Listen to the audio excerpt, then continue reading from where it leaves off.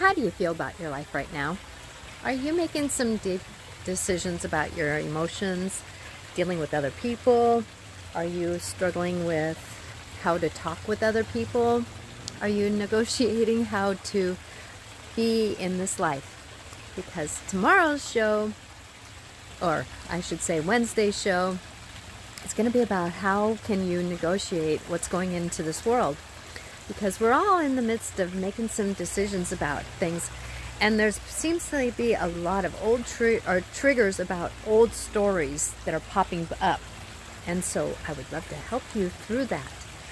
So if you are interested in finding out some stories for pacific time on um, natasha venter intuitive clarifications IC, you can find out but i would really love to help you in that journey if you want some personal story help i can do that in a private session Blessed be to you.